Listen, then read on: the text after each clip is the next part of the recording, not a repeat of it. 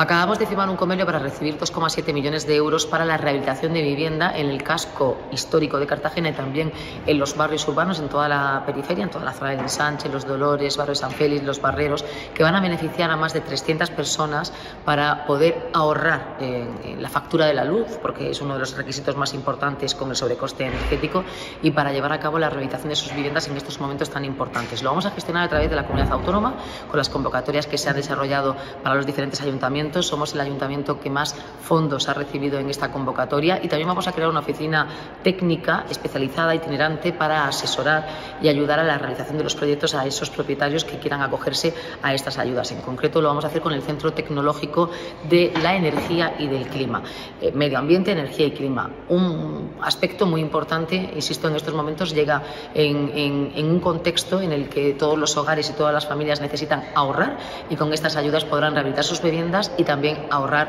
en la factura de la luz.